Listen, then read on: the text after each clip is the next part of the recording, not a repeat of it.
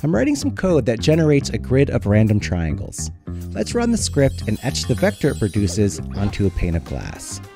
But first, I'm going to mark the size of the glass pane onto the spoil board.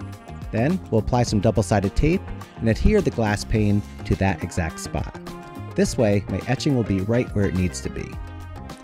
We're using a diamond drag bit to etch the glass. If you zoom in closely, you can actually see the diamond. Next, let's turn off the spindle and create a quick engraving toolpath using VCarve Pro.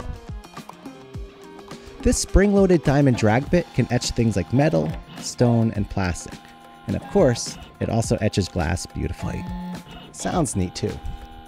So let's finish up by etching the outline, cleaning it up a bit, and then illuminating our code-generated graphic.